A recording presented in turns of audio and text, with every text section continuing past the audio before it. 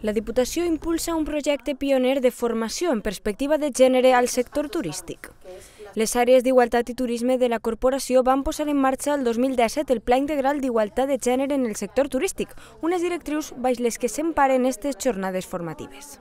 Cuando eh, se hizo el, primer, el plan, la diagnosis ¿no? de la situación de las oficinas de turismo, eh, detectamos que no habían recibido nunca formación en materia de igualdad ni de diversidad. ¿no? O sea, la perspectiva de género brillaba por su ausencia, digamos, ¿no? en las acciones que se realizan en las oficinas de turismo. Como tenemos aquí con la Diputación, tenemos el Plan Integral de Igualdad de Turismo de la Diputación de Valencia 2020 y también a nivel mundial hay varios otros ejemplos pero los ejemplos son pocos, así que es una cuestión de pensar en cómo podemos fomentar este tipo de políticas y estrategias para realmente poder trabajar más fuertemente.